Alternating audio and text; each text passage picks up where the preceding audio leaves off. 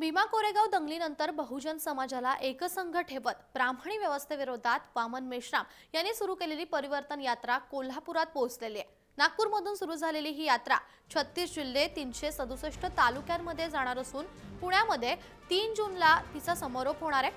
बहुजन क्रांती मोर्चाच्या माध्यमातून सुरू असलेल्या या यात्रेला कोल्हापूरकरांनी चांगलाच प्रतिसाद दिलेला आहे. ऐतिहासिक दसरा चौक इथे झालेल्या सभेमध्ये वामन मेश्राम यांनी भीमा कोरेगावच्या मुख्य सूत्रधाराला अटक करा ओबीसी भटक्या जमातीची जातनिहाय जनगणना करा यासह अनेक अनेक मागण्या केलेल्या आहेत. तर लोकशाही टिकवण्यासाठी ईव्हीएम मशीन हद्दपार करण्याची प्रमुख मागणी यावेळेला त्यांनी केलेली आहे.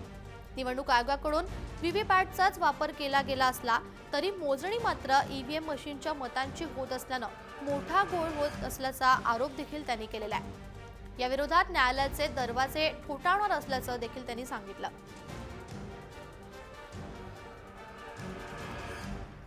हा एक हेतू आहे.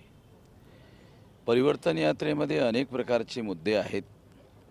त्यामध्ये आमच्या पर पाम्पलेटमध्ये लिहिण्यात आलेलं आहे. त्यामध्ये ई व्ही एम मशीनचाही एक महत्त्वपूर्ण मुद्दा आहे.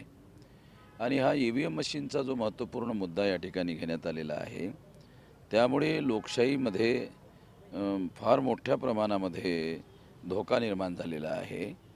आणि ई व्ही एम मशीनच्या संबंधात तर मी फार बारीक माहिती ठेवतो कारण मीच सुप्रीम कोर्टामध्ये केस जिंकलेली आहे.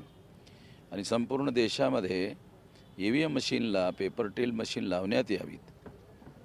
हा निर्णय माझ्याच केसमध्ये सुप्रीम कोर्टाने हंड्रेड पर्सेंट जागेवर लावण्यात हा निर्णय दिला.